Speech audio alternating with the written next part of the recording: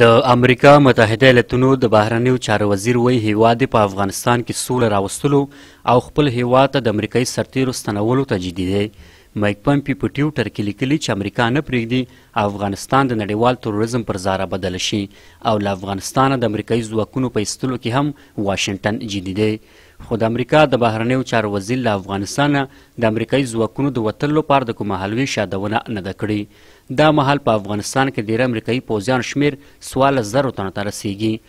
پمپ یادونه کړې چې د افغانستان د سولې لپاره د امریکا د بهرنیو چارو وزارت له ځانګړي استازي زلمي خلیلزاد سره د سولې د مذاکراتو په تړاو تشویقونکي خبرونه ترلاسه کړي دي. د افغان سولې لپاره د امریکا د بهرنیو چارو وزارت ځانګړی استازی زلمی خلیزات وایي په قطر کې د دوی او طالب استازو ترمنځ شپږ ورځني خبرې پای ته رسېدلي او پکې مهم پرمختګونه شوي دي.